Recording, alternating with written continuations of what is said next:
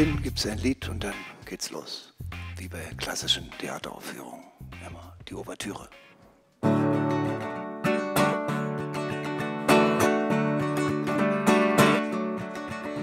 Der Abend liegt sanft vor den Füßen. Komm, lass uns ein Stückchen noch gehen. Den Mond und die Sterne zu grüßen. Ich muss heute was Schönes noch sehen. Verblüht sind Akazien und Flieder und der Himmel strahlt nah überm Dach. Dort wohnen die alten Lieder von Goethe und Heine und Bach. Und doch bin erschrocken, ich fremd hier und fern. Wenn nur diese Fratzen nicht wären.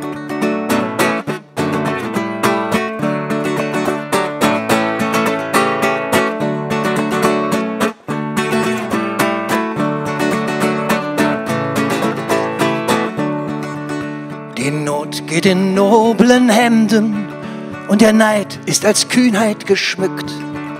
Im Selbsthass hasst man die Fremden, unterdrückt, weil man selbst unterdrückt. Die Straßen erschrecken die Harten, Gesänge von Not und Dummheit. Und die Heilsverkünder, sie warten auf ihre Gelegenheit. Was machen sie nur mit diesem Stern? Wenn nur diese Fratzen nicht wären.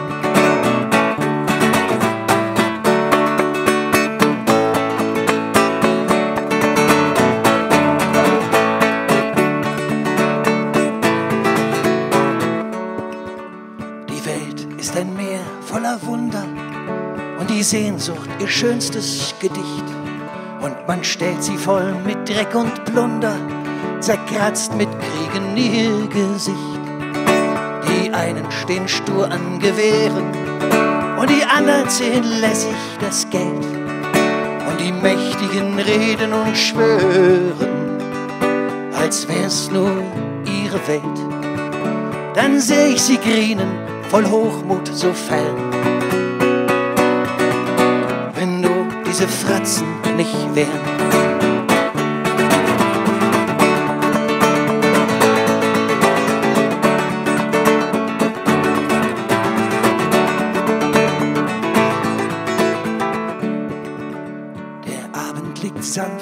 Füßen. Komm, lass uns ein Stückchen noch gehen den Mond und die Sterne zu grüßen. Ich muss heute was Schönes noch sehen. Verblüht sind Akazien und Flieder und der Himmel strahlt da überm Dach. Dort wohnen die alten Lieder von Goethe und Heine und Bach. Was machen sie nur mit diesem Stern? wenn nur diese Fratzen nicht wären.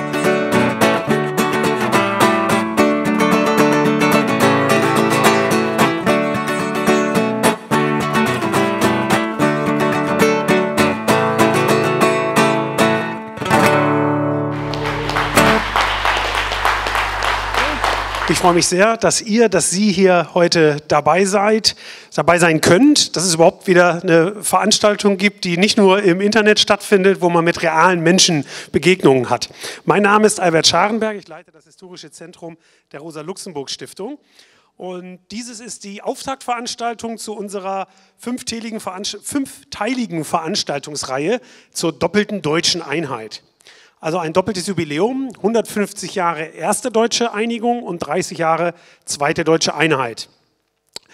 Inhaltlich sage ich da jetzt noch nichts zu, das kommt dann gleich äh, im Vortrag von Achim Engelberg. Im Monatsrhythmus werden wir Veranstaltungen äh, anbieten zur wachsenden Kluft zwischen Arm und Reich und die Proteste dagegen im November, zu Kolonialismus, Stellvertreterkriegen und Neuordnungen im Dezember, zu Flucht, Migration und Auswanderung am Beispiel der Familie Ruge im Januar und dann schließlich im Februar zur Kunst und Kultur. Unsere heutige Veranstaltung trägt als Titel ein Bloch-Zitat. Aufrechter Gang auf bewohnbarer Erde. Wir wollen diskutieren über das besagte doppelte Jubiläum und über mögliche Parallelen, aber natürlich auch über Differenzen der geschichtlichen Situation. Den Aufschlag wird gleich, wie gesagt, machen äh, Dr. Achim Engelberg, der diese Veranstaltungsreihe zusammen mit mir geplant und vorbereitet hat. Dafür jetzt schon ein großes Dankeschön, Achim.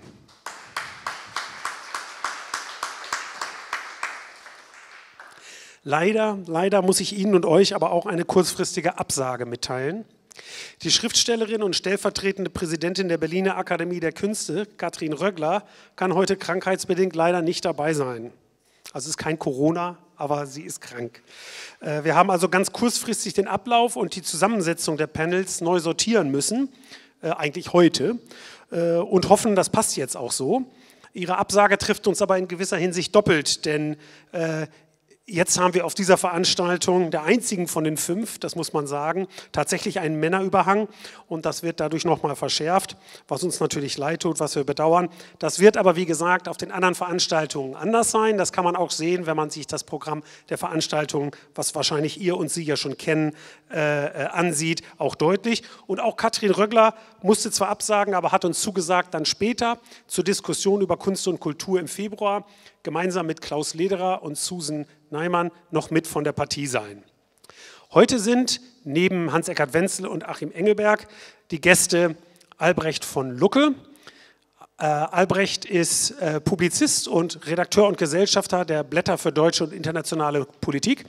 Ich, äh, auch unser Medienpartner hier für die Veranstaltung, was man jetzt nicht so sieht, das hat mit den Umständen zu tun, aber äh, haben da schon, glaube ich, ganz gut äh, äh zusammengearbeitet. Sie kennen ja alle diese äh, äh, Monatszeitschrift und sonst gucken Sie bei blätter.de und lernen Sie kennen.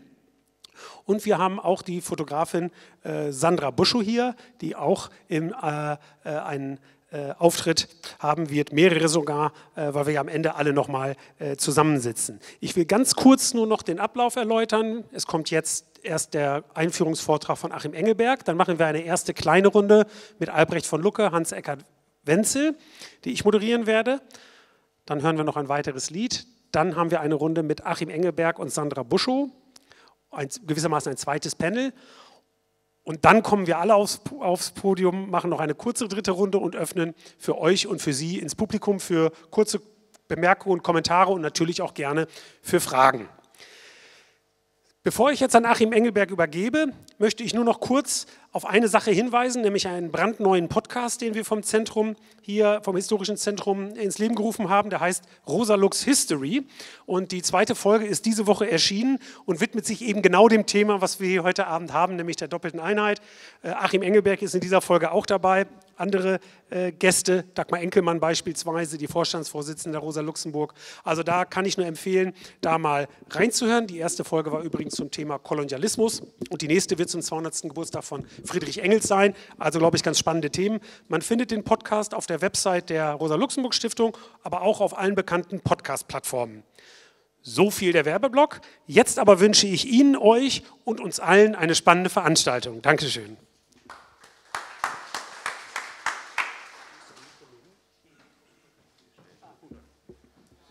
Ja, also ich muss, eigentlich müsste ich jetzt das Buch zerreißen, ein weites Feld von Günter Grass, nämlich damit beginnt mein Vortrag. Es geschah vor 25 Jahren. Eine Titelstory vom Spiegel war der Verriss eines Romans. Der als Literaturpapst bezeichnete, zerriss in einer Bildmontage im wörtlichen Sinn das Buch Ein weites Feld.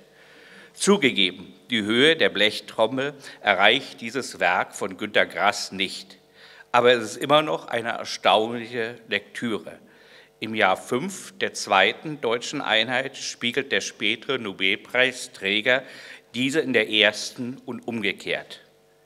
Ein Fixierbild mit zwei Zentralfiguren, einem ewigen Spitzel, der vom Kaiserreich bis heute gebraucht wird, und ein Wiedergänger von Fontane, Fonti genannt, sind die tragenden Figuren. Letzter kommentiert plaudernd das Geschehen. Zitat. Liebermann war damals schon skeptisch und ich im Grunde auch. Das gilt gleichfalls für heute, meine jungen Freunde. Skeptisch bleiben ist besser als zynisch werden. Kommt sowieso alles ins Rutschen, in Russland und anderswo. Kaum ahnen wir, was alles. Zitat Ende.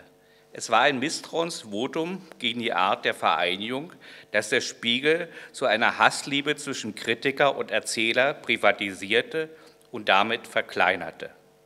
Allein, dass dieser Verriss zur Titelstory avancierte, verrät, hier ging es nicht um ein ästhetisches Scheitern, was Massen, bewegt, was Massen nicht bewegt. Hier passt die ganze Sicht nicht. Einen Fingerzeig gibt der Arbeitstitel des Romans, die Treuhand. Vieles spricht dafür, dass die Treuhand für die zweite deutsche Einheit wie Blaubarts verschlossenes Zimmer ist, der Ort, wo die Leichen verborgen sind. Weniger metaphorisch gesprochen schreibt es der in Wien lehrende Philipp Thaer in seinem Standardwerk über das neoliberale Europa aus dem Jahre 2014. So führte die Schocktherapie in Ostdeutschland innerhalb weniger Jahre zu einem Einbruch der Industrieproduktion auf 27 Prozent des Wertes von 1989. Außerdem vom Krieg zerstörten Bosnien erlebte kein anderes Land in Europa einen derart drastischen Rückgang. Zitat Ende. Zwar sind viele Akten immer noch nicht zugänglich, aber es gibt anders als Anfang der 1990er Jahre eine Breite von, Breite von kritischer Literatur von Wissenschaftlern und Publizisten. Immer deutlicher wird, dass die von Bürgerrechtern auf den Weg gebrachte Treuhand, um das in der DDR weitgehend verstaatliche Volksvermögen zu erhalten, die Bundesregierung zum Instrument umfunktionierte, um politisch und ökonomisch autoritär zu steuern. Gewinne wurden so schamlos privatisiert, dass man das Vorgehen mittlerweile sogar in Hauptstrummedien als Goldrausch bezeichnet. Verluste dagegen waren zu vergesellschaften. So montierte die Treuhand zum Hebel, um die alte Bundesrepublik West wirtschaftlich zu entdemokratisieren. In vielen Verrissen wird gerügt, dass Grass von der DDR als, Zitat, kommode Diktatur spricht, was, wenn man die deutsche Geschichte vom 19. Jahrhundert bis in die Gegenwart beschreibt, plausibel ist. Weiterhin hebt sich die demokratische Helligkeit unserer zweiten Einheit nicht so stark wie gewünscht ab, da die Revolution von unten im Osten durch die Herrschenden im Westen und ihre willfährigen Helfer nicht zuletzt mit Hilfe der Treuheit drastisch umgelenkt und beendet wird. Zitat Grass, da war von Einigkeit und Recht und Freiheit nur noch wenig zu hören. Dünnstimmig gingen sie verloren ironisiert Grass alles pathetische, weihevolle, Staatstragende. Diese Variationen sind der Stoff, der in dieser Veranstaltungsreihe beleuchtet und gewendet werden soll. Eine Schlaglichter, die die Weite des Feldes verdeutlichen sollen. Der Strom der Geschichte spülte damals starke Nationen nach oben, die in der Welt agierten. Es kam zu einer Verwandlung der Welt, wie ein 2009 erschienenes, bemerkenswertes Buch von Jürgen Osterhammel heißt. Das sahen aber schon Zeitgenossen wie Fontane in seinem Epochenbuch Stechlin. Hinter dem Berge wohnen auch Leute, heißt es dort leitmotivisch. Diese häufige Formulierung borgte sich Fontane von Lothar Bucher, ein Revolutionär von 1848, der aus dem Exil zurückkehrte, um ein enger Mitarbeiter von Bismarck zu werden. Man könnte sich vorstellen als 68er, der dann, Marx hat ihn auch mal gesagt, ein preußischer Minister ins B. Aber er hat es dann nicht zum Minister geschafft, nur zum engen Mitarbeiter von Bismarck. An der wachsenden Zahl der Auslandskorrespondenten sah Fontane, Strich Bucher, schon damals die Schwerpunktverlagerung jenseits des alten Europas. Nach der Selbstzerstörung Europas und seinem Teilaufstieg in einer zerklüfteten, multipolaren Welt des 21. Jahrhunderts stellen sich alte Fragen neu.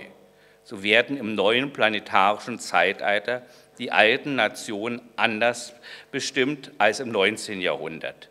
Dennoch bleibt Deutschland eine Macht in der Mitte des Kontinents, trotz Amputationen nach 1945 zu groß und stark für viele andere Staaten Europas aber zu klein und schwach, um Vorherrscher auf dem Kontinent zu sein. und auf dem Planeten bleibt man eine Mittelmacht. Auch nach der zweiten Einheit gilt, was Bismarck sagte. Zitat. Die Einheit Deutschlands hat so viele neue Energien entwickelt, neue Interessen und Gesichtspunkte geschaffen. Ach, die soziale Frage, die macht alle Regierungen schaudern. Zitat Ende.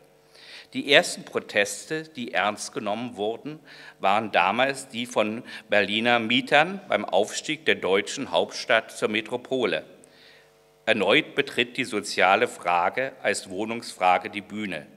Aus dem englischen Exil kommentierte Friedrich Engels bereits 1872, Zitat, diese Wohnungsnot macht nur so viel von sich reden, weil sie sich nicht auf die Arbeiterklasse beschränkt, sondern auch das Kleinbürgertum mit betroffen hat. Zitat Ende. Die seitdem erfolgte Demokratisierung legten die Herrschenden der Bevölkerung nicht auf einen Gabentisch, sondern soziale Bewegungen, nicht zuletzt von Arbeitern erkämpften sie. Ach, 1875, drei Jahre nach den Wohnungsprotesten, vereinigten sich die linken Kräfte zur SPD. Am 9. Mai 1873 begann in der Wiener Börse eine Finanzkrise, die bald alle kapitalistischen wirtschaftlichen Teile des Planeten umfasste und was kräftig mit der gleichzeitig in der Donaumetropole stattfindenden Weltausstellung kontrastierte. Nicht wie 1929 oder 2007-2008 begann sie in New York, sondern in der Mitte Europas. Wie aber in späteren Finanzkrisen hatten die Spekulanten viele in ihre Geschäfte hineingezogen, von erlauchten Häuptern über Handwerker bis hin zu Tante-Emma-Läden. Das stimulierte die Produktion weit über den Bedarf und führte zum Kollaps. Ja, ich möchte aus einem alten Buch jetzt zitieren. Viele Gründer, die vor Ausbruch des Banken- und Börsenkrachs jegliche Regierungsinterventionen entrüstet zurückgewiesen hätten, riefen nun nach Staatshilfe.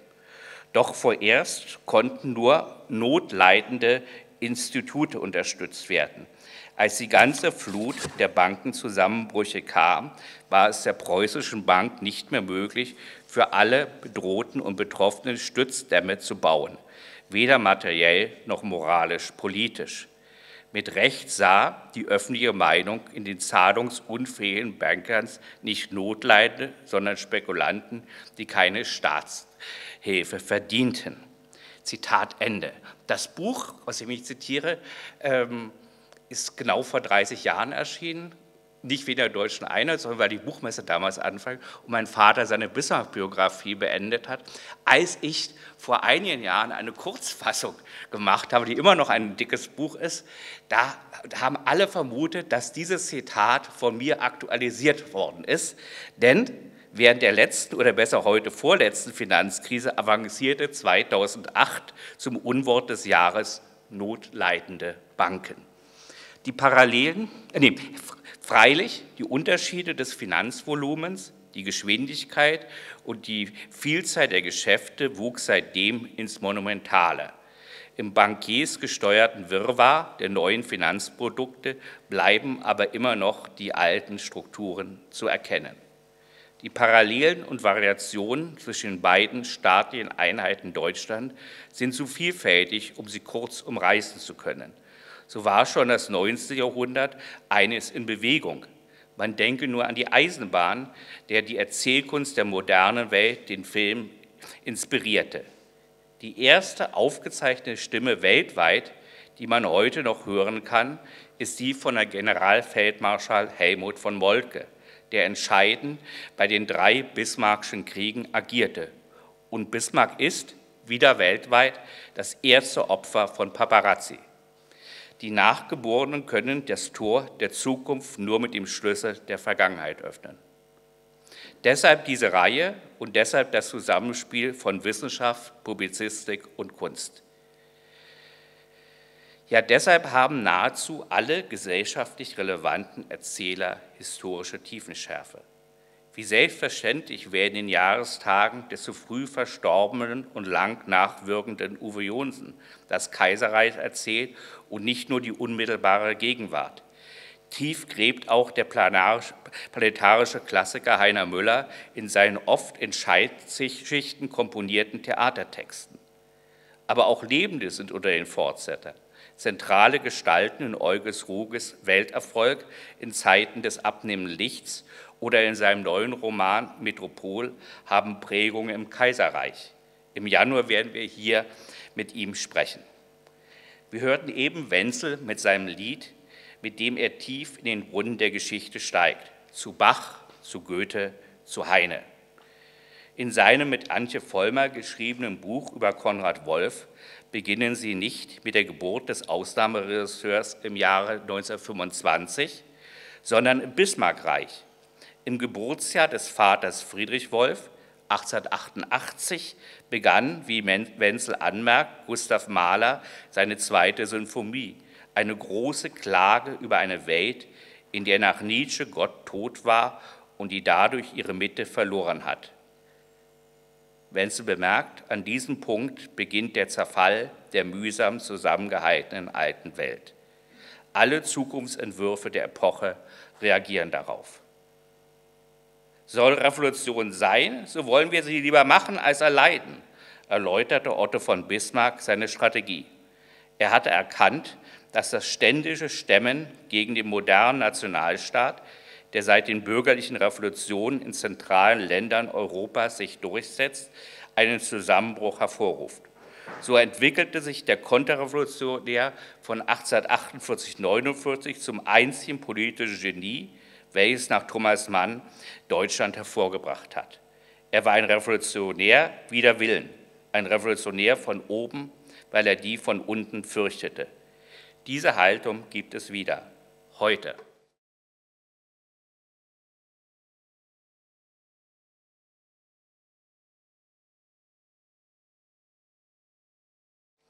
Klaus Schwabe, der Gründer des Wirtschaftsforums von Davos, glaubt aufgrund der Erfahrungen mit der Pandemie noch an den Kapitalismus, aber nicht mehr in seiner jetzigen Ausgestaltung.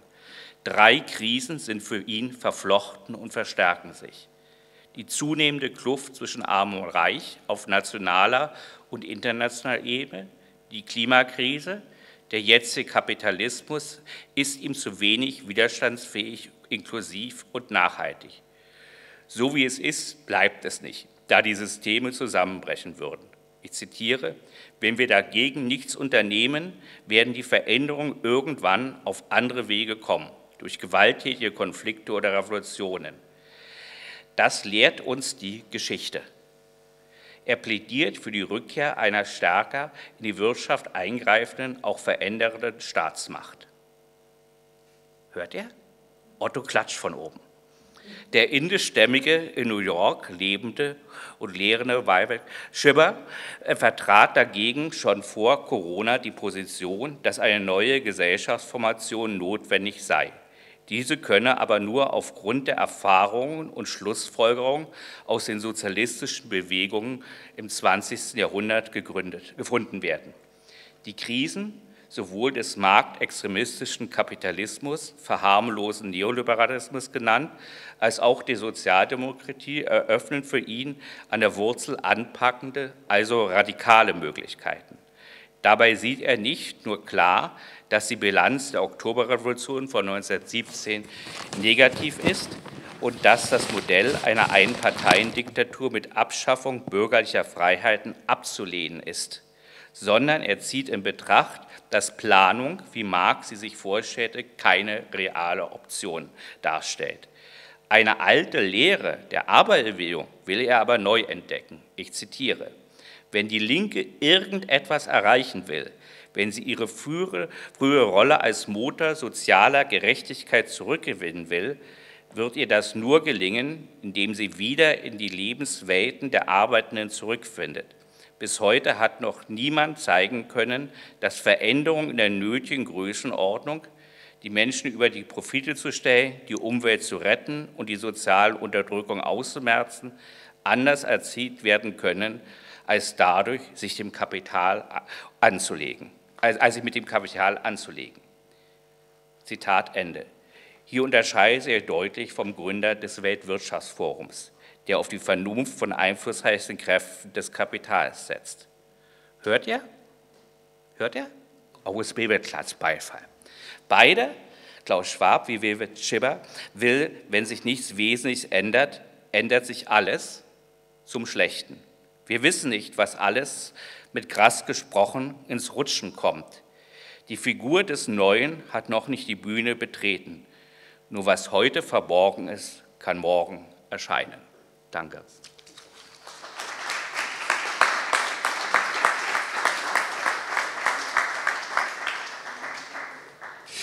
Ja, das äh, war ja ein toller Einstieg und ich würde da direkt anknüpfen wollen mit einer Frage. Vielleicht fange ich mal mit dir an, Albrecht, aber sie geht auch in deine Richtung. Ähm, der Achim hat ja äh, verschiedene äh, Krisen angesprochen, wo er Parallelen sieht zwischen damals, also der Zeit nach der ersten deutschen Einheit, der Reichsgründung, und äh, jetzt der jüngeren Vergangenheit nach der zweiten deutschen äh, Einheit. Äh, seht ihr das auch so? Siehst du das auch so? Seht ihr das auch so? Äh, um welche Krisen handelt es sich denn eures Erachtens dabei?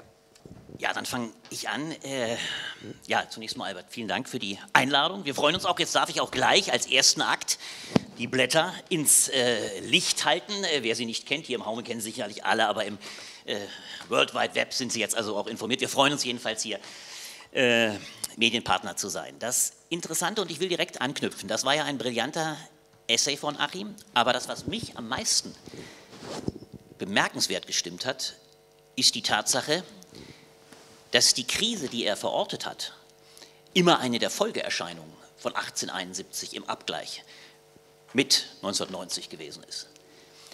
Und das alleine ist für mich das bemerkenswerteste Krisenphänomen, dass wir die Unterschiedlichkeit der Republiken.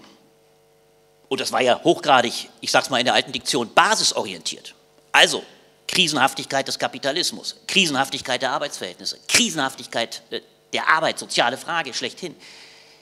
Dass wir vor dem Hintergrund, und das halte ich für das eigentliche heutige Krisenphänomen, dass wir die Unterschiede der beiden Republiken in einer solchen, ich sage es mal, Lachs-Parallelisierung die ja der ganzen Reihe, ich teile das durchaus auch in den Folgen, unterliegt, dass wir damit gar nicht mehr die großen Unterschiede dieser beiden Republiken im Auge haben. Und das ist vielleicht das eigentliche Krisenphänomen, ich sag's mal, des Staatsbürgerbewusstseins oder das republikanische Krisenphänomen. Das Lustige ist, Achim, ich habe es jetzt gerade noch mal wahrgenommen, ich habe das Datum äh, 1995, fünf Jahre nach der Einheit, dass du mit äh, dem weiten Feld, und dein ganzer Vortrag war ja ein ungemein weites Feld, ein globaler Vortrag, global ausholender Vortrag, dass du das mit dem weiten Feld von Grass assoziierst. Ich habe das in meinem kleinen Kommentar jetzt in den Blättern mit einem ganz anderen Datum assoziiert, nämlich mit dem Rapt Reichstag, mit dem verhüllten Reichstag, dem großen Datum, wo diese Republik ein Stück weit in großem republikanischen Überschwang sich wahrscheinlich die Demokratie so spielerisch zu eigen gemacht hat, wie zu keinem anderen Datum der Republikgeschichte überhaupt. Das mag damals schon, und darauf sollten wir reden, sicherlich auch da unterschwellig schon eine Trennung zwischen Ost und West gegeben haben. Diejenigen, die da, wie ich, ich war in Berlin, wie viele andere damals auch, die da, ich sogar muss zugeben, erstmal skeptisch, weil ich auch dachte, na, diese Verhüllung, ich schreibe das auch, es gab damals eine Debatte, ist das nicht etwas, was mit unserer Demokratie, die gerade so errungen war und dann auch national erweitert, geht das nicht fast schon zu spielerisch damit um? Ist das nicht fast schon eine Herabwürdigung? Ich konnte diese Position, die Schäuble damals einnahm, durchaus nachvollziehen.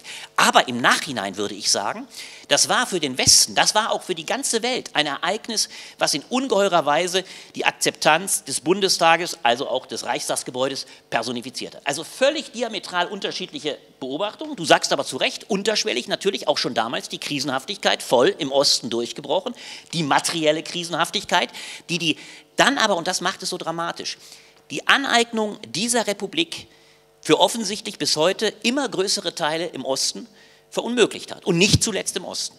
Und ich will darum, und deswegen scheint mir das so wichtig sein, zu sein, trotzdem jetzt an dem Punkt auch die Unterschiede einmal deutlich machen, weil das ist Kern dieses Krisenhaften des Nicht-Republikanischen, was wir mittlerweile erkennen müssen. 1990, und da beginnt ja die Dramatik, war natürlich ein, äh, ein Beitrittsprozess mit diesem blöden Begriff, Artikel 23, wir müssen sicher darüber reden.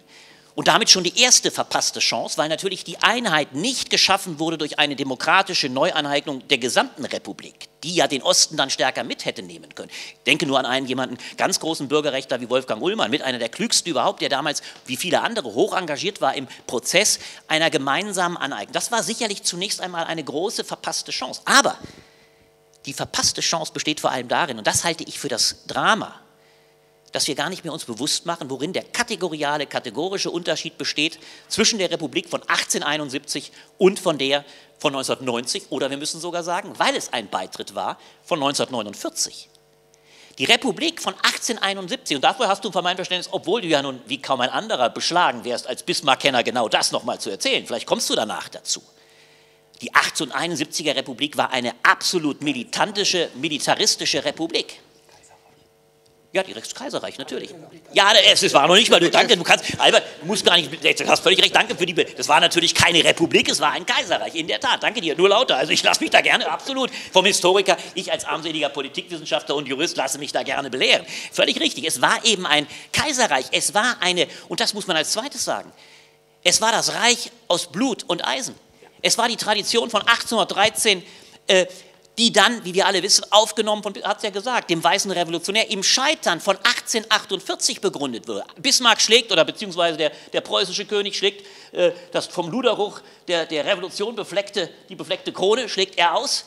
Und das ist das Scheitern der bürgerlichen Revolution von 1848. Und Bismarck macht dieses Land, dieses Kaiserreich, ich danke dir, Albert, macht es mit Blut und Boden und er, äh, mit Blut und Eisen und er macht es auf Basis eines dreifachen Krieges eines dreifachen Krieges, äh, das äh, zutiefst Ressentiment glas und dann das Fatale, die Freund-Feind-Diktion und das Freund-Feind-Denken im Inneren wie im Äußeren zutiefst begründet. Und jetzt kommt der Punkt. Ein Bürgertum, was 1848 noch mit großen Hoffnungen auftritt, dann brutal militarisiert. Da ist die ganze Wenzelsche Tradition natürlich Bürgertum in nationaler wie universalistischer Tradition. Das war ja keine nationale Denke, du hast die Namen genannt, Goethe, Heine, Bach. Das war immer auch ein Schiller natürlich zuallererst noch dazu zu denken. Es war immer ein Denken des Nationengedankens, das das Provinzialistische, das Feudalistische hinter sich lässt, um natürlich Menschenrechte mitzudenken. Das bricht 1848 vollkommen in sein Gegenteil und das Schlimme, die liberalen, die bürgerlichen Klassen, um auch die Klassendiktion zu einzubringen, werden zutiefst militaristisch und Träger dieses nationalistischen und militaristischen Denkens. Ich finde es immer noch am beispielhaftesten, diese beiden wunderbaren Bilder, die man kennt, sowohl Max Weber, der große politische Denker, wie Friedrich Nietzsche. Beide sind in dieser Zeit in militärischer Uniform äh, in Bildern fotografiert worden. Der, der, der, der Soldat bzw. der Offizier, Offizier war der Inbegriff dieses neuen militaristischen Bürgerdenkens. Und hier müssen wir uns bewusst machen, das finde ich das Drama, dass wir das dann auch zu schnell gleichschalten, beziehungsweise auch zu schnell in Parallelen denken. Die ganze Republik, der fatalerweise, ich sage bewusst fatalerweise, der Osten nur beitreten konnte, weil ich sage, der Aneignungsprozess nicht stattfinden konnte, diese Republik von 1949 war aber genau das Gegenteil. Sie ist aus der totalen Niederlage erwachsen. So tragisch es war, wir wissen ja alle, die erste Niederlage hat brutalerweise 1918, 19 nicht gereicht. Die deutsche Nation musste noch einmal äh, eins in brutalster Weise auf die Mütze bekommen, um damit erst absolut entmilitarisiert zu werden. Darüber findet ein demokratischer Aneignungsprozess im Westen statt, 68 als zweites Datum. Ich will daran auch erinnern, Hannah Arendt sagt, vielleicht werden wir im 21. Jahrhundert das Datum 68 einmal so erinnern wie das Jahr 1848. Hochinteressant, dass sie die, die demokratische äh, Bewegung von 68 gleichsetzt mit dem, mit dem 48er-Prozess. Ein, ein Phänomen, was im Osten in der Weise ja gar nicht stattfinden konnte, weil 68 bekanntlich im Osten brutal unterdrückt wurde. Und dann findet, und das ist das Tragische, deswegen sage ich, ist das eine, eine, Bürger, eine, eine demokratische Krisen. Äh, äh, Annotation, die ich machen möchte, dann findet eben fatalerweise dieses demokratische Erbe 1990 keine Würdigung, weil die ökonomischen Prozesse, wie sie Achim dann schildert, zu Recht, im Osten all das untergraben bzw. überlagern. Und so haben wir heute das dramatische Phänomen, dass wir genau das, was Wenzel ja fast schon hellseherisch beschrieben hat, dein, dein Lied ist ja viel früher, als du hast es ja nicht im, im Zeichen von Corona geschrieben, dass diese Wunderheiler, die du jetzt beschreibst, die damals in den 20er Jahren aktuell waren, nämlich als Verführer nationalsozialistischer bzw. konservative revolutionärer Art, dass sie heute wieder genauso fröhliche Urstände feiern und Menschen, ich denke nur an einen, Herrn Jepsen als Beispiel, mit Artikel 20 Absatz 4 als Widerstandsbewegung gegen diese Republik, die nach wie vor die freiheitlichste Republik ist. Deswegen würde ich dem Grass-Zitat an dem Punkt, muss ich leider sagen, schon hart widersprechen. Freiheit, Gleichheit, Brüderlichkeit, ja, Brüderlichkeit in Anführungszeichen, die Brüder und Schwestern im Osten hatten in harter Weise zu erleben, was Kapitalismus bedeutet. Aber nach wie vor bleibt diese Republik in ihrer freiheitlichen Möglichkeit, sich als Bürger erstmalig zu definieren, Demokratie wahrzunehmen. Sogar von denen, wie die Jepsens, die behaupten, es wäre eine Diktatur und jegliche Freiheiten haben. Sie bleibt die eigentlich zu verteidigende Republik. Und das Schlimme ist, und da bin ich am Ende, 25 Jahre nach den Bildern, die du beschrieben hast, und 25 Jahre nach Rap Reichstag, haben wir jetzt die Bilder eines Sturms auf den Reichstag, eines Anführungszeichen, der Sturm, wir dürfen uns die Diktatur nicht zu eigen machen, es ist ja kein Sturm, er ist nicht gestürmt worden, aber wir haben wieder eine offensichtliche, absolute Infragestellung von rechter Seite, die aber leider grundiert ist auch von einer ungeheuren Krisenhaftigkeit der Einheitsgeschichte nach 89 und das finde ich das eigentlich vielleicht am allerdramatischsten Seiende, dass nicht jenseits der Krisen, über die ihr alle sprecht, dass wir, ich glaube, auch sprechen müssen über das Scheitern des republikanischen Gedankens, der letztlich nie in Teilen der Republik so begriffen wurde nach 89, wie er 49 im Westen angeeignet werden konnte, weil im Westen anders als im Osten ein Gleichklang von Wohlstandszuwachs und Wachsen in demokratische Freiheiten stattgefunden hat. Das ist 89, 90 im Osten abgebrochen und darüber haben wir eine so fundamentale, offensichtlich Frustration, dass wir manchmal fast zu schnell über diese völlige Unterschiedlichkeit der neuen Republik hinweggehen, weil wir zum Teil zu schnell die sozialen Klüfte sehen. Und das halte ich für mit die dramatischste Krisendiagnose, weil auch eine tiefe Krise der Demokratie verkörpert. Entschuldigung, dass ich jetzt ein bisschen, weil Achim es so provoziert hat, zu seinem weltumholenden äh, Vortrag einen, einen fast biederen, demokratisch-bundesrepublikanischen Gegenaspekt äh, stark gemacht habe. Ja, vielen Dank. Ich vermute mal, du siehst das ein bisschen anders, Hans Eckert. Ja, ich würde erstmal, ich finde problematisch mehrere äh, Aspekte darin. Ich glaube, wenn man die Welt versucht zu erklären über zwei Begriffe, Diktatur und Demokratie, dann muss man sagen, das ist kein hinreichendes Paar, äh, Realität zu beschreiben. Wir sind in die Falle geraten, dass da sich die alte Bundesrepublik quasi als nicht aktives Subjekt der Veränderung äh, um 89 empfunden hat, dass sie mit diesen Begriffen sich selbst im Nachhinein einen Sinn definiert, als ob sie daran schuld wäre, dass der Osten zusammengebrochen ist. Es ist, ist sozusagen die fehlende Subjektrolle, die der Westen in diesem Prozess einnimmt. Und äh, also Demokratie ist kein Zweck einer Gesellschaft, sondern ist ein Mittel, mit dem man eine Gesellschaft steuern kann. Und dieser Gedankensprung, der findet erstmal nicht mehr statt. Das halte ich für etwas Problematisches. Und es kommt hinzu, wenn ich jetzt nochmal etwas springe, das Moment der Vereinigung, also wie sich das deutsche äh, Volk staatlich in eine Einheit begeben hat, sowohl 1871, da ist für mich noch viel mehr äh, sozusagen an, verdrängtem, an verdrängter Problematik enthalten.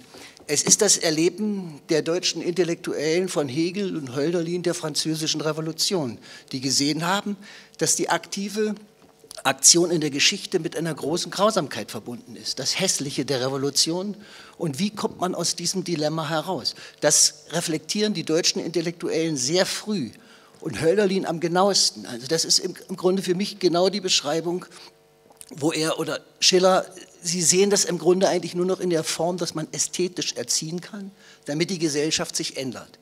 Nun kommen aber außenpolitische Dinge hinzu und dieses äh, sagen wir mal, diese Reflexion von Hölderlin ist wiederzufinden in einer anderen Art in der Reflexion ähm, der Bürgerrechtler in der DDR. Für mich ist es eine ähnliche Konstellation.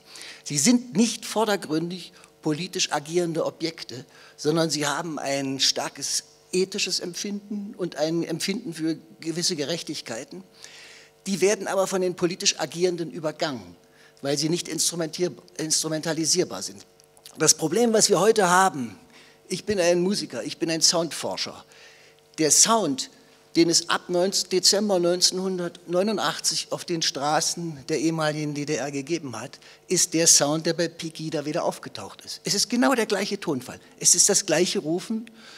Dieser Sound wurde 89, 90 von stark konservativen Kräften instrumentalisiert, weil man es brauchte, um eine gewisse Richtung in die politische Verwirrnis hineinzubringen. Das ist dann letzten Endes äh, wie beim Zauberlehrling. Bestimmte Geister ruft man und dann wird man sie nicht mehr los. Sie haben sozusagen eine Hybris bekommen und versuchen die gesellschaftlichen äh, Prozesse zu steuern. An diesem Zustand der Erosion dieser äh, äh Demokratie befinden wir uns. Und das, ich sehe es ebenfalls äh, äh, als eine, eine große gefährliche Situation, dass sich mittlerweile sozusagen solches rechtes Gedankengut bis in die Sicherheitskräfte, in die, in die Polizei, in die Sondereinheiten der Armee hineingeschlichen hat. Es ist etwas, was immer existierte in diesem Land und was zu der Einheit gehört. Auch die Einheit von 1871 hatte stark nationalistische Töne. Das braucht man, weil wir als Deutsche, ja, wir sind eben eine sehr späte Nation. Andere haben es eher geschafft. Wir sind die zu spät gekommenen. Und das bleibt immer unser Problem. Und gleichzeitig sind wir eine sehr große und sehr kräftige und sehr fleißige Nation, sodass auch, man darf es nicht vergessen, die Aushandlung der deutschen Einheit 1990 über die Großmächte Frankreich, Italien, wurde nur denkbar im Rahmen einer europäischen Vereinigung. Wenn wir jetzt die Verhältnisse danach sehen, wie die deutsche Rolle im Europa ist, ist es äh, äh, schon sehr problematisch, was sich da geändert hat. Ich, ich will es nur als äh, ein paar Fragen mit hineinwerfen und nicht ganz so grundsätzlich reden. Ja, das war ein ziemlich fulminanter Auftrag von euch beiden. Ihr habt natürlich meine sämtlichen Fragen jetzt schon mal hier äh, äh, über den Haufen geworfen und ich mache jetzt deshalb auch gleich mal anders weiter. Du hast ja, glaube ich, dich auch bezogen mit dem Dezember oder Ende 89, Anfang 90 auf diesen Übergang äh, zu, zu, zu den Rufen, wir sind ein Volk. So, äh, dass da praktisch eine, eine, Wurzel drin liegt. Da ist mir dann eine andere Sache noch eingefallen, um nochmal auf die Parallelen doch auch äh, äh, zu sprechen zu kommen, äh, ohne grundsätzlich widersprechen zu wollen. Albrecht, dass natürlich die, die Unterschiede äh, äh, ja ganz fulminant sind. Das ist gar keine Frage. Trotzdem finde ich es fast überraschend, dass die Parallelen zwischen dem Kaiserreich vor 150 Jahren und der Demokratischen Republik heute überhaupt so sind. Mit der sozialen Frage, der, den, den der Krisenhaftigkeit des Kapitalismus und so weiter. Wenn ich aber wir sind ein Volk als Ausgangspunkt nehme, dann fällt mir natürlich die Frage der Einwanderung ein, mit Blick auf die Parallelen. Damals im Kaiserreich gab es überaus feindliche Reaktionen auf Einwanderung äh, von Polen und insbesondere von polnischen Juden. Erinnert sei nur an Heinrich von Treitschkes antisemitisches Traktat äh, über die jüdische Einwanderung. Und da ist natürlich jetzt die Frage in Anknüpfung an das, was du gerade gesagt hast, sind, kann man da Parallelen sehen zu, äh, zu heute und zum Aufstieg der AfD? Ja, das äh, kann man sicherlich, aber zunächst einmal würde ich auch da feststellen, es macht es ja vielleicht auch nur spannend, wenn man zum Teil sich auch reibt. Es ist natürlich zunächst einmal der Befund der, dass wir anders als noch 1989, 90, gerade mit Blick auf den Osten, in einer absolut multikulturellen Gesellschaft leben. Das ist im Osten zum Teil noch anders der Fall und da ist die Abwehr auch deshalb zum Teil vorhanden, weil die sagen, das wollen wir gar nicht haben, um es uns klar zu machen. Also, äh, das muss man zunächst mal feststellen.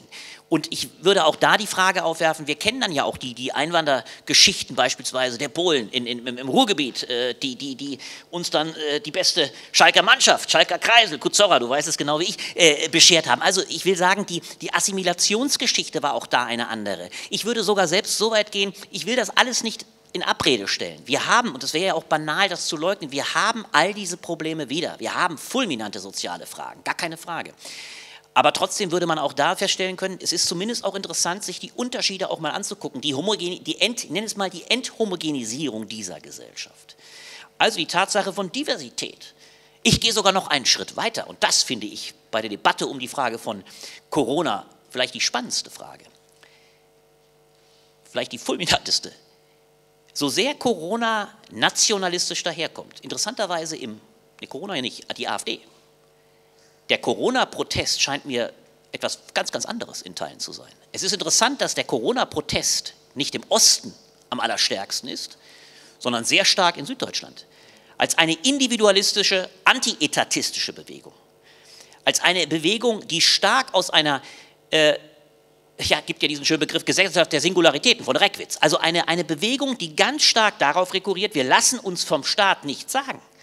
Und damit auch eine große Diskrepanz zu der, zu der Abwehrhaltung durch die AfD im Osten darstellt. Deswegen hat übrigens Herr Höcke, ich habe von Herrn Höcke im ganzen Corona-Protest bisher sehr, sehr wenig gehört.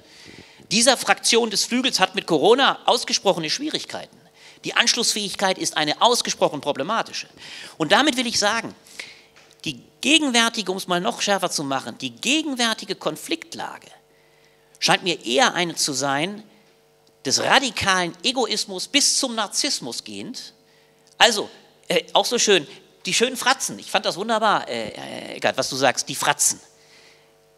Die Fratzen äh, sind ein Stück weit auch wir, sag ich mal. Äh, noch hat er gesagt, wir sind auch alle im Lichte von Trump. Der Trump, der in einem narzisstischen Amoklauf gestern, ihr habt ihn vielleicht alle nachts auch gesehen, äh, sehen können, das war ein Erlebnis. Der Narzissmus eines Trump ist meinem Eindruck nach, guckt euch mal die, die Exzesse der Corona-Demonstrierenden an. In seinem Narzissmus, in seinem antisozialen Gedankengut ist auch zum Teil in dieser Bewegung massiv zu Hause. Und noch zugespitzter gesagt, wir haben nach 89 meinem Eindruck nach leider eher einen Verlust an Gemeinwohlorientierung an radikaler egoistischer Orientierung, und die ist global tatsächlich zu begreifen, als eine, nicht mit China, there is no alternative, das ist die eine Lesart, sondern vor allem noch viel wichtiger der neoliberale Leitsatz von Thatcher, there is no society, there are only individuals and families. Diese Radikalisierung des Egoismus hat mit dem Nationalismus, mit dem Kollektivismus als Urproblem des 1871er Nationalismus sehr wenig zu tun. Und das ist eine neue Problembeschreibung, die uns vor neue Probleme stellt. Und ich würde sogar sagen, ich finde es ganz mal, ich wage die These, ich glaube, wir brauchen heute zum Teil wieder ein Mehr an kollektiven Denken, an nicht Kollektivismus, das wäre der falsche Begriff, aber eine Verständigung auf Gemeinwohl, auch auf, auf Rücknahme von egoistischen Interessen, die vor allem auf rechts kommen, aber die weit entfernt sind von Nationalismus oder ich sage mal salopp gesagt sogar gar Bellizismus. Ein Herr Broder, ein Herr Tichy, wie sie alle heißen, ihr wisst, wen ich meine, die greifen nicht mehr zur Waffe. Die wollen salopp ihren Wein trinken auf Kosten der kommenden Generation. Aber da müssen wir, glaube ich, keine Sorge haben, dass diese Herrschaften nochmal flammend wie Weber und Nietzsche vielleicht des Willens waren, äh, äh, äh, mit Bismarck, der war ja noch nicht mal in dem Maße, aber die kommen dann bellizistisch zum Kriege zu rufen. Das ist gar nicht meines Erachtens das Hauptproblem. Ich glaube, die Gesellschaften, vor allem der westlichen Welt, die sich darauf besonnen haben, seit der Aufklärung sozusagen Regulative zu entwickeln, wie die demokratische Form der, der äh, äh Regierung, wo man über Jahrhunderte brauchte, der Mensch da, dazu zu begreifen, dass der andere Mensch neben mir gleichberechtigt ist mit mir. Wir leben in einer Zeit, in der das abgeschafft wird. Es wird sukzessive über viele Erfahrungen abgeschafft. Es wird darüber abgeschafft, dass man mit diesen Unmengen an Flüchtlingen, mit den Heeren, die sozusagen auf uns zustürmen, die eine Herausforderung sind, nicht mehr klarkommt. Man kommt mit den Leichen im Mittelmeer nicht mehr klar, die da alle liegen. Was sollen wir darüber denken? Wo bleibt da unser Gleichheitsgedanke? Er erodiert, Stück für Stück werden wir dazu gezwungen, diesen Gedanken nicht mehr aufrechtzuerhalten. In vielen Sachen, in den Sozialversicherungen, in den Krankenhäusern, wenn irgendeiner äh, das Auto kriegt oder das ein Schnäppchen oder was auch immer. Die Gesellschaft ist so aufgebaut, dass der äh, pekuniäre oder materielle Gewinn sehr weit oben steht und dass sie sozusagen den Egoismus verlangt. Es sind lächerliche äh, Formen, wenn der Bundespräsident sozusagen Leute auszeigt, die viel für die Gemeinschaft macht, Feuerwehrleute oder was. Das sind Leute, die das wirklich vor Ort durchziehen und denen man, denen man sozusagen keine Chance mehr gibt in dieser Gesellschaft. Die Leute lachen über die, wenn die da irgendwie in der Freiwilligen Feuerwehr sich nachmittags treffen und die Schläuche ausrollen. Das, das hat keine Achtung mehr gegenüber. Äh, dann, die Corona-Krise hat das sehr klar zum Ausdruck gebracht, dass wir da ein Riesendefizit haben. Und dann kommt, das gehört zu Deutschland, immer die Marmelade ins Essen. Dann wird also irgendwie schön gemacht, dann wird auf einmal auf, auf die, von den Balkonen Freude schöner Götterfunken gespielt und den Krankenpflegern wird applaudiert und nichts ändert sich. Dieses äh, sentimentale Gehabe gehört auch zu unserem Volk, das ist furchtbar. Also Hans Eisel hat das mal gesagt.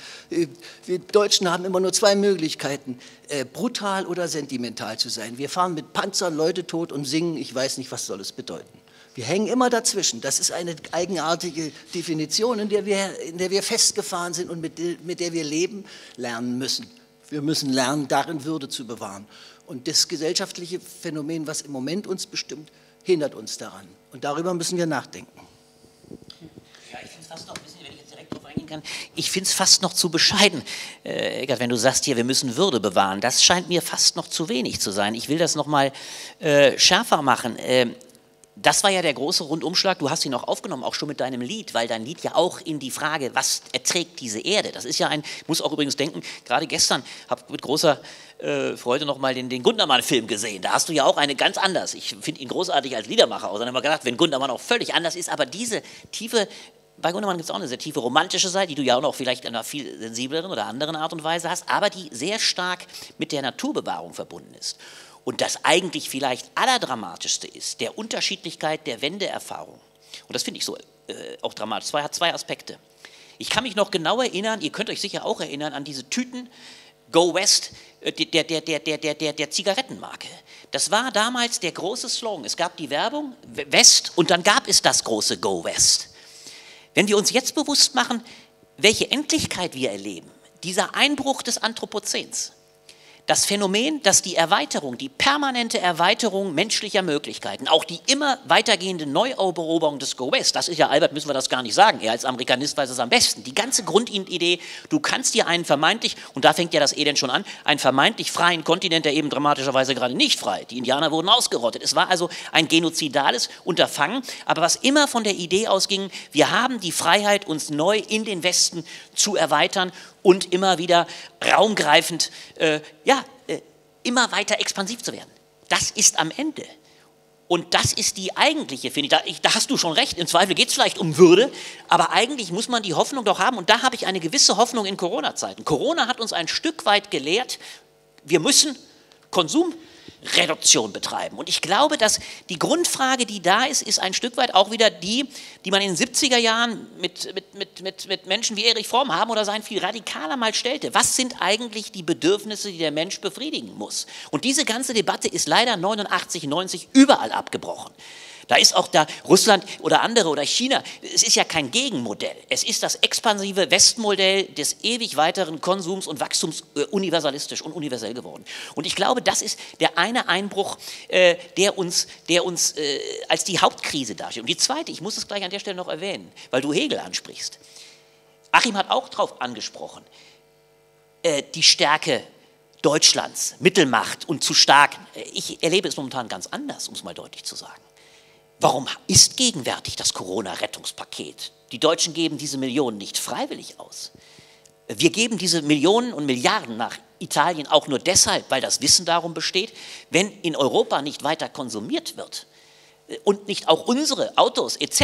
in dem europäischen Wirtschaftsraum verkonsumiert werden, was ja übrigens auch ein gewisses, schon damals ein Expansionsmodell Ost war. Das war ja auch der Fall. Der, der Wirtschaftsmotor wurde dadurch äh, in Gang gesetzt, das schließt genau an deinen Vortrag an, mit Fonti, weil natürlich die ostdeutsche Konsummasse, sage ich mal hart gesprochen, Konsumbevölkerung sehr nützlich war, während man allzu gern den Niedergang der Industrie äh, verkraften konnte, weil damit der westliche Kapitalismus angeschoben wurde. Aber das viel existenziellere Modell besteht doch jetzt darin, äh, dass Deutschland davon abhängig ist, dass zumindest Europa als Wirtschaftsraum aufrechterhalten wird. Und die zweite, letzte, wirklich letzte Bemerkung, die Dramatik, auch das westliche Modell in Europa ist so dramatisch, am, nicht am Ende, das will ich nicht behaupten, aber es gibt eine ungemeine starke Sentenz, und vielleicht führt das nachher noch, wir sprechen ja äh, nachher über die Peripheriefrage noch, ich will das aber anmerken. Viktor Orban ist ja vielleicht der härteste Vertreter eines Gegenmodells, um es mal anzusprechen. Und Viktor Orban hat nach, nach der letzten Wahl einen wahnsinnig bemerkenswerten Satz gesagt. Viktor Orban, von dem wir alle wissen, dass er 1989 ein ziemlich mutiger, liberaler Reformer war, der gegen den verknöcherten äh, Sozialismus, Kommunismus zu Felde zog. Er hat aber nach der letzten Wahl folgenden Satz gesagt, und der ist hochinteressant. Er sagte, 1989 hielten wir Europa für unsere Zukunft. Man könnte auch sagen, übrigens der Westen, mit Hegel. Ja? Die Welt geht in den Westen und geht zur Freiheit. Nach der letzten Wahl hat er gesagt, Heute wissen wir, wir sind die Zukunft Europas. Das ist ein so bemerkenswerter Satz, weil er gesagt hat und genau gewusst hat, wir spielen Europa mittlerweile die Musik vor. Wir, die nationalistische Bewegung, sind viel stärker. Und das merken wir alleine jetzt schon, wie in den Verhandlungen um, die, um den Corona, das Corona-Paket, bei der Frage der Rechtsstaatlichkeit, wir den, der Phalanx der Antidemokraten, der Nationalisten im, mit westlichen Modellen gar nichts mehr entgegensetzen können. Damit will ich sagen, die, die ganz große Idee, Das ist ja die Hegelsche Idee. Es geht eigentlich letztlich vom Osten in den Westen weiter. Es geht immer in Richtung Freiheit. Es geht in Richtung Amerika. Osten die Anarchie, Osten die Autoritarismus bewegt sich in einer geschichtsphilosophischen Bewegung in Richtung Freiheit. Das steht meinem Eindruck nach, wenn ich jetzt auch mal so groß denken darf wie du, Achim, das steht auf dem Spiel. Wir erleben eine Rückkehr zu autoritären Verhältnissen, die eher im Osten angesiedelt sind. Ungarn in Europa und von China als einem ganz neuen autoritären Kapitalismus will ich gar nicht reden. Das ist vielleicht die eigentliche Dramatik. Und das ist eine fundamentale Ernüchterung verglichen mit der Idee, dass es sich 89 als Ende der Geschichte im Westen mit Menschenrechten in die Richtung bewegen würde. Ja, ich, will, ich will nur vielleicht kurz anmerken. Es ist natürlich richtig, das so zu sehen, aber ich, ich glaube, gerade diese Formen des Nationalismus äh, ähm, sind sozusagen die letzten Zuckungen eines Lösungsversuches, der eine gewisse profaschistische Struktur hat. Es ist Trump natürlich auch. Trump möchte gern die alte Schwerindustrie wieder aufbauen in einer Zeit, wo wir äh, sozusagen permanent äh, mit Computern und mit anderen äh, sozusagen in andere, andere Richtungen denken. Das Problem, das dahinter ist, was dahinter steht, ist es sowohl bei der Corona-Krise als auch bei der ökologischen Krise dieser Erde. Es ist nicht mehr national lösbar. Die. Das ist das Problem auch der Corona-Krise. Es zeigt uns, was wir bräuchten, wäre eine starke UNO, so wie sie nach dem Krieg äh, initiiert worden ist. Also starke internationale äh, Vereinigungen, in denen verhandelt wird. Die wird aber genau, diese Strukturen werden genau von denen abgeschafft, die im Moment das Sagen haben, weil sie wissen, dass die Lösung darüber möglich ist. Ja. Und das ist vielleicht die momentan wirklich existenzielle Krise, in der wir sind. Und Corona ist nur ein Ausdruck davon. Und da kann das nächste kommen und das übernächste, nächstes Jahr und wieder. Wir stecken sozusagen in einer Krise, wenn wir dieses, Viru, dieses virulente, äh, äh, diese virulenten Angriffe nicht abwehren können. Als Gattung haben wir verloren. Ja, das äh, äh, ist jetzt schon fast ein gutes Schlusswort, würde ich sagen, für die erste Runde, denn die, ähm, da stimmt ja die ganze Frage der, äh, der, der Anforderungen, der Notwendigkeiten, sowohl im nationalen Rahmen als auch international, ähm, den Zusammenhalt zu stärken, wie du gesagt hast, zum Beispiel, der erodiert ja materiell, aber auch sozial und kulturell. Und wir können ihn ja nicht appellativ herstellen, er braucht ja eine materielle Basis. Äh, da musste ich auch zurückdenken ans Kaiserreich. Da äh, gab es auch die Spaltung zwischen der äh, proletarischen und der bürgerlichen Demokratie, weil nämlich das Bürgertum in dem Sinne, wie du es beschrieben hast, sich äh, Bismarck und dem Kaiser unterworfen hat und deshalb die damals noch revolutionäre Sozialdemokratie im Grunde den historischen Auftrag des Bürgertums, der Demokratisierung der Gesellschaft mit übernehmen musste und auch übernommen hat. Und die Frage ist, anknüpfend an dich, die wir dann in der zweiten Runde vielleicht nochmal aufgreifen können, äh, äh, ist das was, was wir heute auch sehen? Äh, ist das auch so, dass die, wenn, der, wenn die Diagnose stimmt, dass der Zusammenhalt erodiert und die international nötige Regulation durch die nationalistischen Bewegungen stückweise äh, zerschlagen wird, ist es dann nicht auch so, dass die nationale und internationale Linke im Grunde genau diese Rolle wieder übernehmen müsste? Den historischen Auftrag der Demokratisierung und der materiellen Unterfütterung von äh, gesellschaftlicher Solidarität wiederherzustellen. Also vielleicht können wir das in der zweiten Runde ja, das, äh, das, hat, das hat sie ja vor dem Stalinismus auch gemacht. Es ist ja sozusagen das Abbrechen der, der linken Tradition, die auf demokratische Verhältnisse aus war. Äh, in dem Punkt, wo es quasi einen Staat hatte und der Stalinismus als eine Form, in dem der Zweck die Mittel heiligt, ist dieses Ding verloren gewesen. Und das war das Undemokratischste, was es gab. Also natürlich, die demokratischen Bestrebungen wurden aber genauso unterstützt und das ist eher heute mit äh, ein Punkt, den ich für wichtig halte, also aus liberalen Schichten des Bürgertums, die man unbedingt für diese Sache benötigt. Damit es sozusagen, das ist eine, viel mehr in, in so einem reichen Land, meinetwegen wie der Bundesrepublik, ist es eine der der wichtigsten Kräfte. Und man muss sagen, zum Beispiel an den, an den Stellen, als dieses komische Wahldebakel in Thüringen war, äh, da gab es einen guten Artikel darüber, also als die AfD quasi zum Steigbügelhalter wurde, was da an klaren äh, äh, Positionen ohne Schaum vor dem Mund dagegen in diesem Land sich auf einmal artikulierte, das hat mich sehr ermutigt irgendwo an der Stelle, dass ich dachte, ah, ganz so sehr ist die Karre doch noch nicht im Dreck. Ja. Äh, wir gehen jetzt mal äh, über zum nächsten ähm, äh, Panel und kommen dann danach alle gleich nochmal zurück. Aber erstmal dürfen wir dir nochmal zuhören bei einem Lied, ne?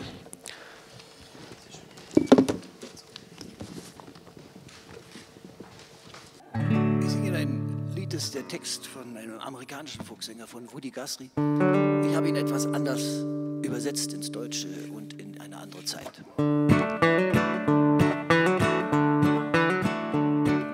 This land was made for you and me. Die Länder der Erde gehören keinem alleine. Die Himmel, die Blumen, die Meere, die Steine, der Norden, der Süden, der Westen, der Osten. Die Erde ist da für dich und mich.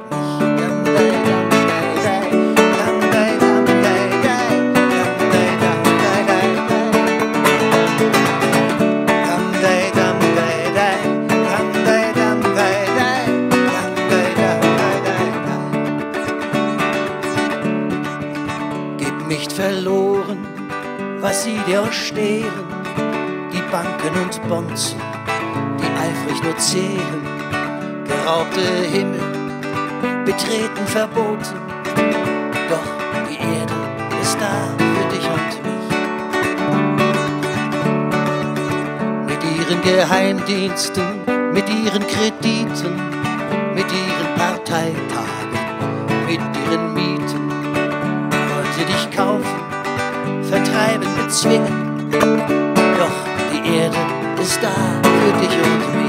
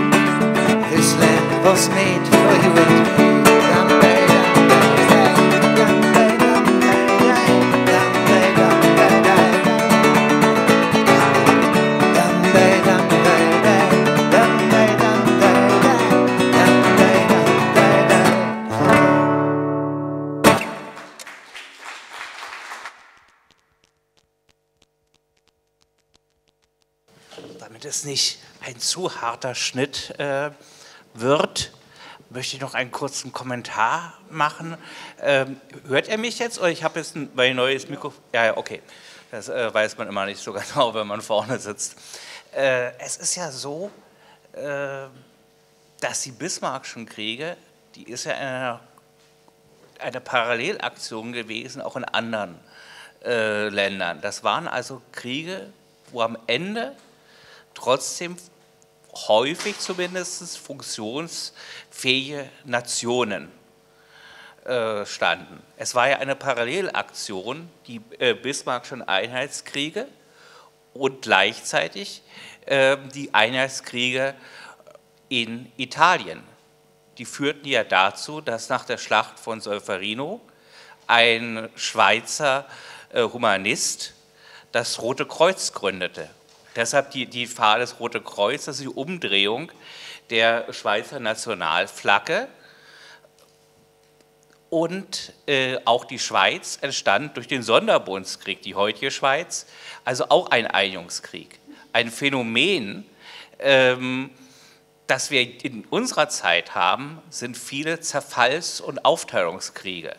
Und da komme ich wieder auf ein Buch aus dem Jahre 1995 äh, zurück, auf ein Buch von äh, Peter Schollatur, also einem konservativen äh, Journalisten, der aber sehr scharfsinnig bemerkte, genau vor 25 Jahren bei der Neuauflage, der ersten Taschenbuchausgabe, äh, hat er ein zusätzliches Kapitel vom Balkankrieg geschrieben, hat gesagt, viele Westen glauben, hier ist noch der letzte Stück von altmodischen Kriegen. In Wirklichkeit ist diese Balkankriege nur die Vorhut künftiger Kriege und die aus unlösbaren Regionalkriege, wo keine starken Nationen mehr rauskommen werden. Und mit einem dieser Kriege, der momentan, als wir die Veranstaltung zumindest geplant haben, der letzte akute Krieg äh, in Europa war. Ich muss jetzt in der Vergangenheit sprechen, weil wir jetzt im Kaukasus gerade einen zweiten akuten Krieg. Und da kommen wir jetzt, zu, äh, weil wir nicht nur quatschen wollen, zu ein paar Bildern.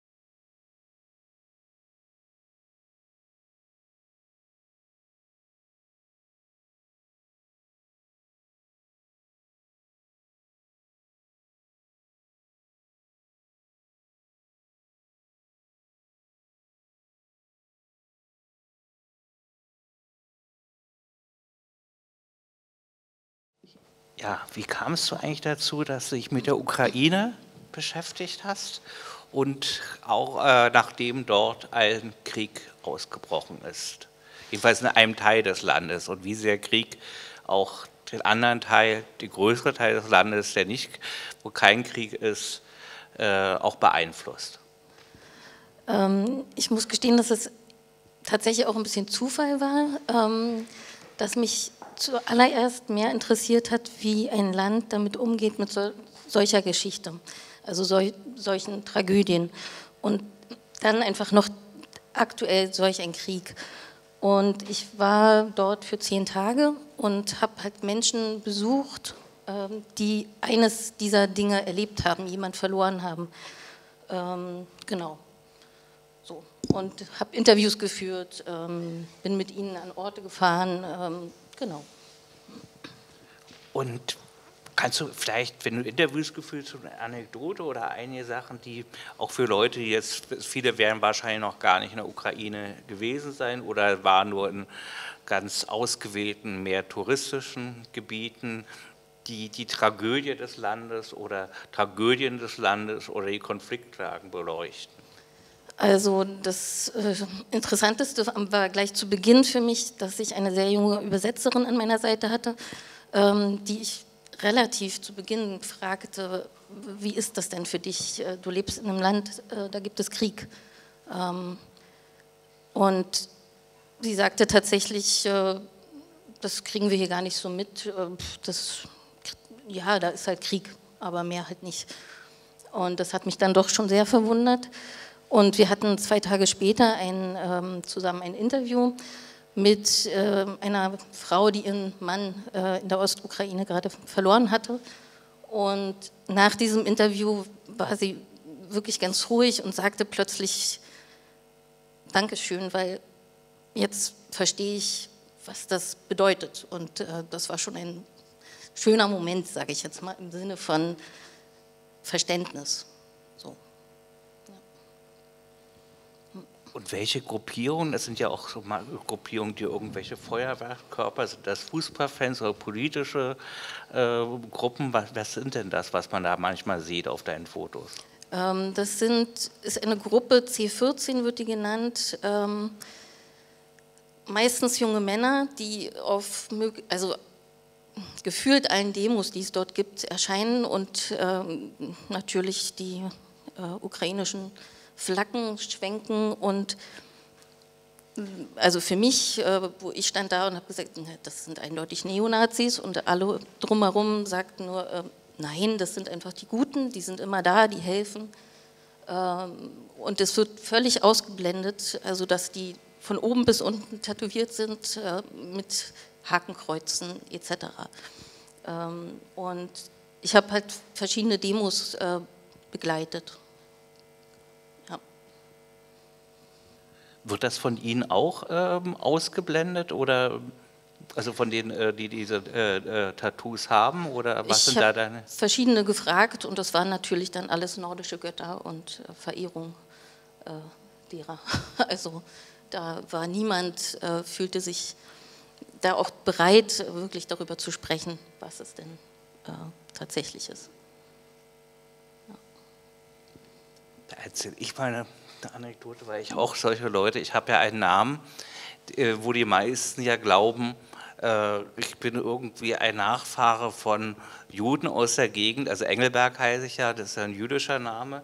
Und äh, obwohl ich, äh, äh also wenn äh, ist die Familie im 18. Jahrhundert, aber es fällt auch, ähm, war mal Juden und ist dann getauft worden. Ähm, das ist nicht ganz aber ich falle in einigen Ländern, also im Nahen Osten oder eben auch in der Ukraine als äh, Jude man auf. Ähm, manchmal sage ich was, manchmal auch nicht. Ähm, und da hatte ich eben einen, äh, der mich ganz freundlich, also in Lemberg war das, zu einem koscheren Restaurant, äh, sagte, das wäre das Beste in der Stadt. Da sagte ich, nee, ich will hier eher ukrainisches, habe aber ihn nicht aufgeklärt, dass ich gar kein Jude bin. Am nächsten Tag sehe ich ihn auch und da war schönes Wetter und er hatte den Arm äh, frei. Da war natürlich auch ähm, SS-Bataillon Nachtigall. und, äh, und, und, und, und, ich frage ihn an und er meinte, nein, nein, ähm, ich kein Nazi, äh, ich kein Nazi. Äh, du mein Freund, das, also, sie, sie kämpften nur für, für uns, er, er konnte nicht Deutsch, sie haben nur für unser Heimatland gekämpft, für our Homeland. Also da sind auch manchmal wirklich in diesen Rändern Europas manchmal merkwürdige Sachen, wo man die Bilder auch nicht richtig lesen kann oder manchmal nicht lesen kann. Manchmal kann man sie schon lesen und es gibt ja auch Vorgänge, die man lesen kann. Und es ist ja auch klar, der Krieg äh, findet auf der Territorien der, der, so, äh, der äh, Ukraine an und es gibt Truppen, die unterstützt werden von einem großen äh, Nachbarn. Russland, der nicht loslassen will. Also es gibt auch bestimmte Dynamiken des Konfliktes, die schon klar beschreibt. Aber es gibt dann immer, gerade an diesen Rändern, solche Übergangsphänomene, wo man einfach auch die Bilder wirken lassen muss und nicht sofort sie deuten. Vielleicht zeigst du noch ein paar Bilder.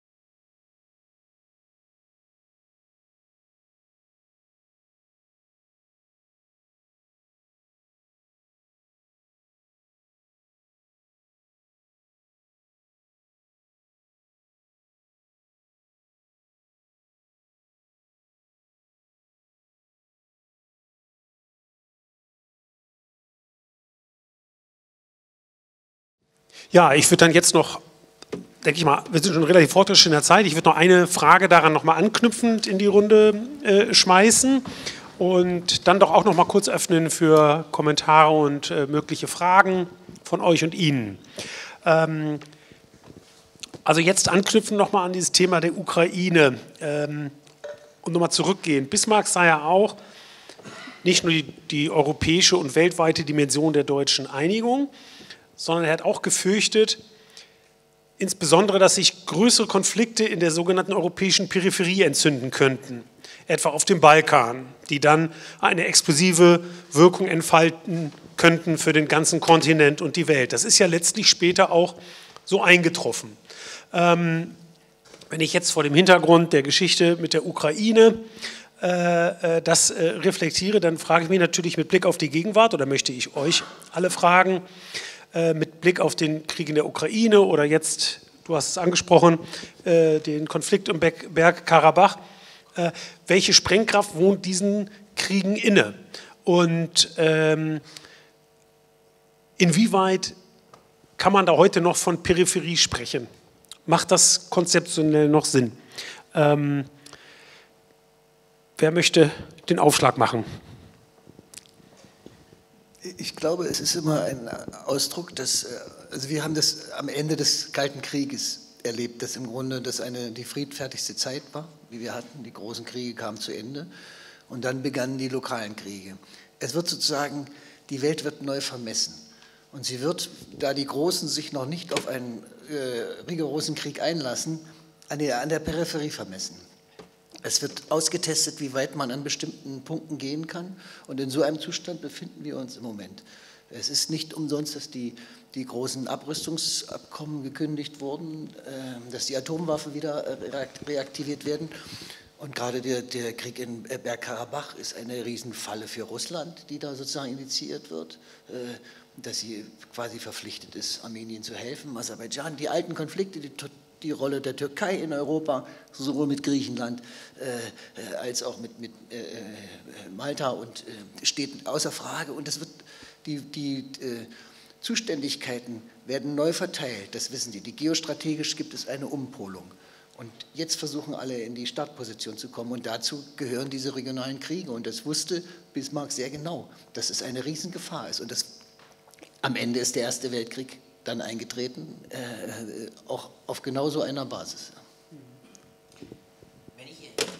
Ich fand das toll, ich fand auch die Bilder sehr eindrucksvoll, wenn ich da anschließen darf. Äh, wir haben ja, und das macht so spannend, wir haben jetzt den Blick auf 1989, 90 und die Einheit sehr stark auch nochmal national grundiert gehabt. Ne? Also die, das war ja eine, eine Facette. Aber gerade weil du vom Jahr 95, ist ja lustig, dass wir in so ein Schlüsseljahr fast kommen, 95 haben wir ja von, von vielen Facetten beleuchtet, 95 war meines Wissens auch das Jahr von Srebrenica.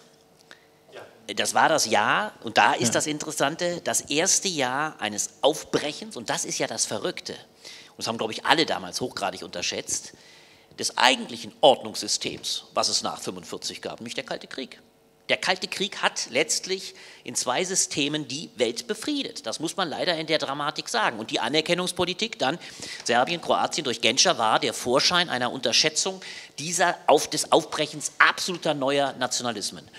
Und äh, das ist in der Tat, ihr habt ja auch bald Herfried Münkler, finde ich toll, ihr könnt ja quasi reibungslos anschließen mit einem der nächsten Referenten, äh, die neuen Kriege, die dann in dem Kontext aufbrechen, sind ja auch dann, und das macht es so spannend, Ordnungskriege nur in einer gewissen brutalen Weise, wenn sie diesen Tribalismus, du hast es so schön in deinen Bildern gezeigt, diese, das waren ja gar nicht mal nur nationalistische Formen, das sind tribalistische Phänomene, wo neue Formen von Kollektivismus unterhalb einer äh, großen Weltordnungsebene stattfinden und der Nationalismus entpuppt sich als die leichteste Kraft und Potenz, das neu zu konsolidieren und dann brutal wieder nach außen auszuleben. Und da war natürlich der Kosovo nur ein Vorschein.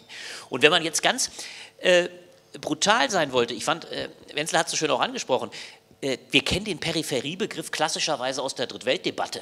Es gibt ja Zeitschriften Peripherie, das, das war die Vorstellung. Äh, wenn man mal hart formuliert, ist der Tribalismus längst auch bei uns. Die Peripherie findet statt, findet statt, ob du jetzt beispielsweise an die Auseinandersetzung im Osten durchaus denkst, ja, wenn ich an die Bilder von Chemnitz denke, ja, die, die, oder auch Gruppen von tribalen Formen der, der Zusammenrottung, das kannst du genauso gut im Westen natürlich statt, äh, beobachten, ob im Fußballumfeld oder sowas nicht, im, im Hooligan, im Katalonien, Katalonien im genau, ja, du findest diese Formen und sie werden natürlich dann in gewisser Weise wieder von so klugen Akteuren wie einem Orban zusammengezogen unter einem nationalistischen Oberbegriff, weil das die, die, die dann doch wieder handlungsmächtigste Form und Formation zu sein scheint. Und da ist dann wieder das Interessante, dieses, dieses, diese, diese Form der, der Einigungskriege oder dieses Einigungsnationalismus scheint dann doch noch eine, eine Überlebenschance zu haben. Das begreifen jedenfalls die Populisten. Und gerade in dem Augenblick, und das ist ja das Brutale, wo eine, eine Idee von Weltbürgertum, wenn man es mal so ganz überhöht oder ganz groß fasst, die 2015 nochmal einbricht. Die Idee von Merkel zu sagen, so, wir nehmen Menschen hier auf.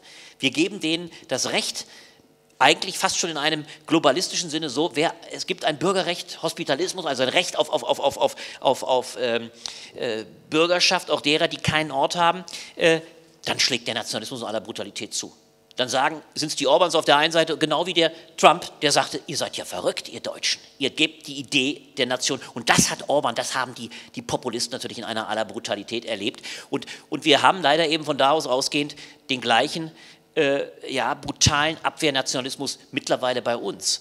Äh, und deswegen finde ich es auch so, so interessant, diese Exklusion der anderen, wenn wir jetzt an die aktuelle Flüchtlingsdebatte denken, ist natürlich mittlerweile auch in der gesamten EU Mainstream geworden. Wenn ein österreichischer Präsident wie Kurt, äh, Kurt sagt, so, kein Mensch wird aufgenommen, dann hat es mittlerweile sich diese Position eigentlich europaweit von wenigen Ausnahmen abgesetzt durchgesetzt. Ich muss doch, doch zwei Sachen.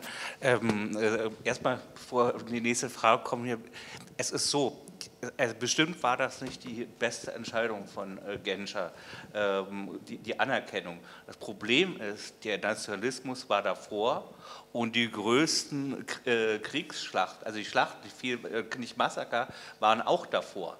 Als Genscher ähm, äh, Kroatien anerkannte, war Vukovar schon zerstört worden. Also diese wunderschöne Barockstadt, die jetzt wieder auferstanden ist. Also es, es waren schon die, die brutale Kämpfe, im, in, Aufteilungskämpfe in Jugoslawien, als Genscher diese Anerkennungspolitik gemacht hat. Das muss man einfach chronologisch äh, mal sagen. Und wirklich die schlimmste, äh, und die Belagerung war auch schon von Sarajevo, die, äh, die ja die längste in Europa war während, des ganzen, äh, während des ganzen 20. Jahrhunderts. Die brutalste und äh, verlustreichste war die von Leningrad während des Zweiten Weltkriegs, die längste war die von Sarajevo. Und manchmal ist es eben so gewesen, weil da kommen wir wieder auf 95, aber das war jetzt nicht geplant. Das, es, ist, es ist wirklich jetzt, äh, dass, also, dass da eben sehr viele Leute kamen, sowohl aus der ehemaligen Sowjetunion wie auch aus, aus Bosnien.